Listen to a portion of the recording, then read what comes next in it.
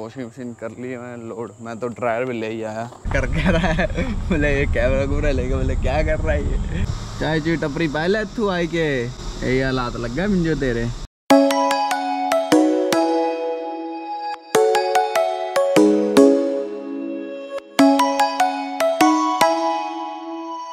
हाँ तो भाई लोग, कैसे हो सारे? स्वागत है आप सभी का एक नए ब्लॉग में।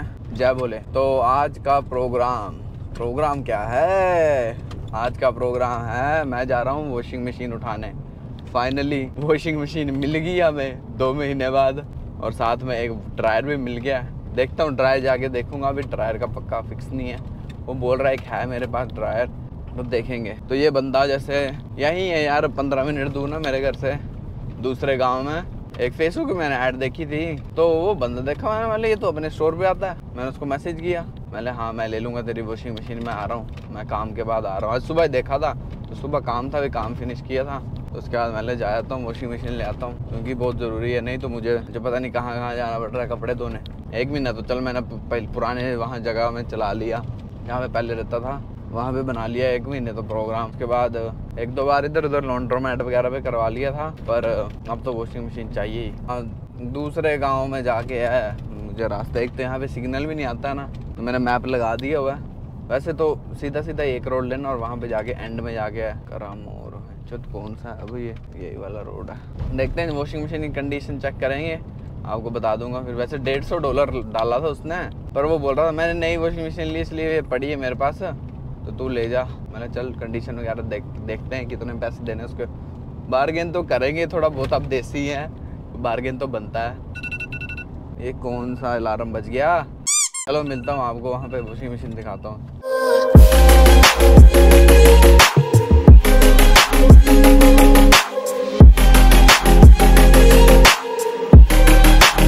उन्नीस नंबर अच्छा। उन्नीस नंबर मिल गया मिल गया। ये क्या है? पानी लग गया। मिल गया उन्नीस नंबर। ये कौन कौन से अलार्म आ रहे हैं यार? इतने तो मैंने अलार्म भी नहीं रखे थे। हाँ तो भाई लोग वॉशिंग मशीन बता देता हूँ तुम्हें। ये देखो वॉशिंग मशीन कर ली है लोड मैं तो ड्रायर भी ले ही आया, ये देखो।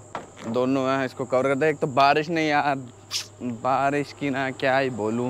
मैं सोच रहा थोड़ा शूट वगैरह करूँगा यहाँ पे, पर बारिश नहीं करने देगी। क्या किया जाए अब? तो देखते हैं, अभी धीरे धीरे चला के घर भी पहुँचना पड़ेगा। देखो पहाड़ों का कितना सेक्सी व्यू आ रहा है।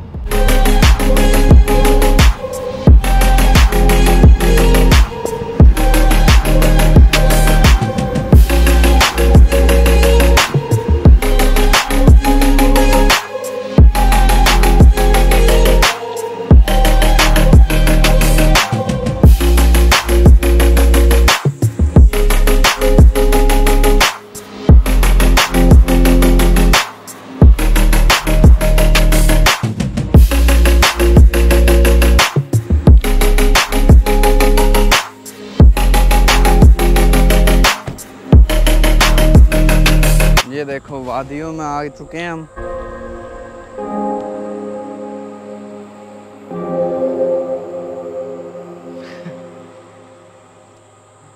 एक तो बारिश यार, बारिश बारिश बारिश। भाई यहाँ पे ना एक बोर्ड लगा था लुक आउट पॉइंट का। अभी यार माइक नहीं है तो वॉइस क्वालिटी इतनी अच्छी नहीं आएगी। क्योंकि शॉर्ट्स के लिए मैंने ना उसकी वो जो मीडियम मोड होता है वो खोल दिया है। तो पता नहीं आवाज़ कैसी आ रही है। बाकी बाकी एक बोर्ड पे लिखा हुआ था लुकआउट लुकआउट कुछ लिखा हुआ तो मैंने चल चलते हैं, देखते हैं क्या है। थोड़ा एक्सप्लोर ही कर लेते हैं इस बहाने। अब आए हैं। आया था तो वॉशिंग मशीन लेने। चल गया घूमने। ओ भाई। वो बोल रहा है पिकनिक एरिया पिकनिक एरिया मुझे कौन सी पिकनिक करनी है? होगा कोई ना कोई लुकआउट पॉइंट कहीं पे। अब भाई लुकआउट के चक्कर में यहाँ पे फंस गया हूँ बीच में रोड में। अब लेफ़्ट जाया जाए कि राइट जाया जाए? मैं तो वो सोच रहा हूँ। पर बात होता कि अब दोनों ही नो थ्रू रोड है। और पीछे एक ही राइट था। लुकआउट ढूँढने पे मैं अपनी उस पर आ गया ना ढूँढने वाली पे तो मैं ढूंढ लूँगा। क्योंकि पर बात ये है, मेरे पास नेट नोट कुछ नहीं है। पर फिर भी ये नो थ्रू रोड है तो अगर मैं लेफ़्ट जाऊँगा तो वो वाला रोड कहीं ना कहीं खत्म होगा ही। वापस आ जाऊँगा राइट जाऊँगा तो वो भी रोड कहीं ना कहीं खत्म होगा। वापस आ जाऊँगा। फिर एक राइट को और रोड है। तो या वहाँ हो सकता है, या इन दोनों में हो सकता है। तो आज लुकआउट की खोज पे निकल चुके हैं। देखते हैं, चलो पहले क्या लिए जाए लेफ़्ट राइट पहले लेफ़्ट लेते हैं। पहले लेफ़्ट लेते हैं, फिर नहीं हो कुछ तो वापस आते हैं। लेफ़्ट तो मैंने ले लिया है। तो रोड हो गया, ख़त्म। ख़त्म नहीं हुआ अभी पर। थोड़ा ऑफ़ रोडिंग वाला रोड आ गया कच्चा कच्चा आ गया। भाई, ये जो कीड़ा है ना, ये कीड़ा एक्सप्लोरिंग का। ये किसी ना किसी दिन मरवाएगा। उड़ जाओ चढ़ा दूँगा ऊपर ही।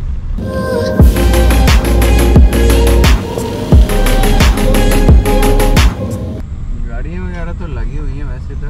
लोग तो रहते हैं। यहाँ तो नहीं लगता मुझे इस साइड लुकआउट होगा। रहने दो भाई, मैं नहीं जा रहा। आगे रोड कैसा है? रुक जाओ, मोड़ लेते हैं इधर से। आगे क्योंकि रोड थोड़ा यार कच्चा वच्चा है। ऊपर, देखता हूँ जाके, तुम्हें दिखाई देता हूँ क्या सीन है यहाँ कहाँ लुकआउट होगा ऊपर जाके? हाँ देखो, यहाँ पे मोड़ो, गाड़ी तो फंस जाएगी। फोर व्हील फोर डालना पड़ेगा फोर बाय फोर मूड नहीं है अभी फोर बाय फोर डालने का। मूड तो देंगे मूड दी।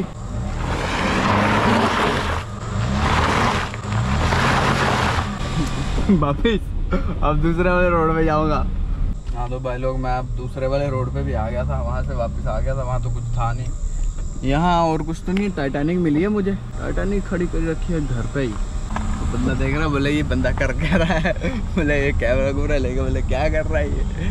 दिखा तो दूसरे, ये दिखा तो हाँ तुम तुम बोलोगे नहीं गया दूसरे वाले रोड पे। दूसरे वाले रोड पे भी कुछ नहीं था डेड एंड था वहाँ पे भी।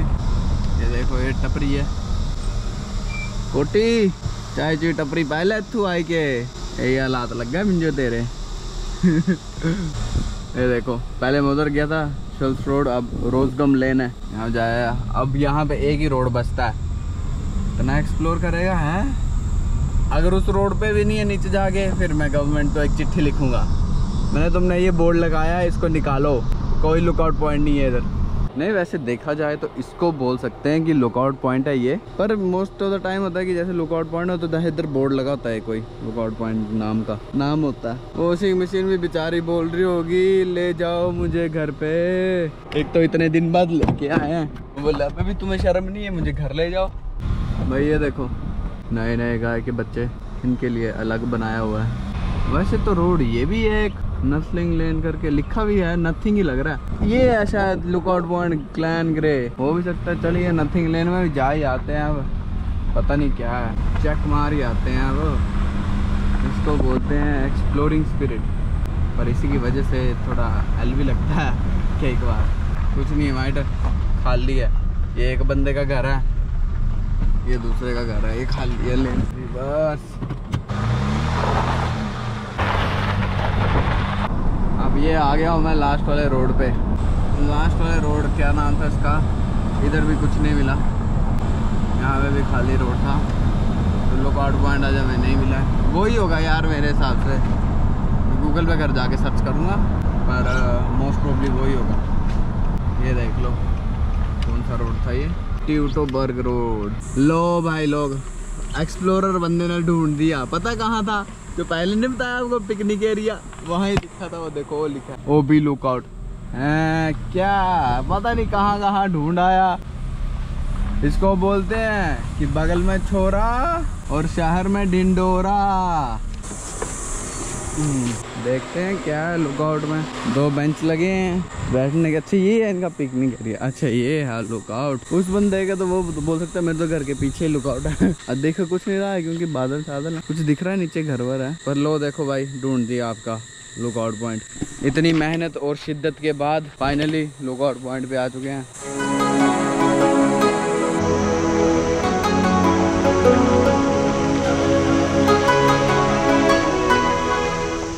लोग घर पहुँच गए हैं। एक्सप्लोरेशन के बाद वॉशिंग मशीन बेचारी। चलो अभी वॉशिंग मशीन वगैरह उतारते हैं। लेबर को फ़ोन मारता हूँ। लेबर को फ़ोन क्या मारना है? पास में ही है लेबर लेबर को बुलाते हैं। चलो अंदर रखवाओ वॉशिंग मशीन चलो, यही था वॉशिंग मशीन एक्सप्लोरिंग व्लॉग तो मिलते हैं भाई लोग तुमसे अगले व्लॉग में। तब तक लिए बाय बाय हर हर महादेव।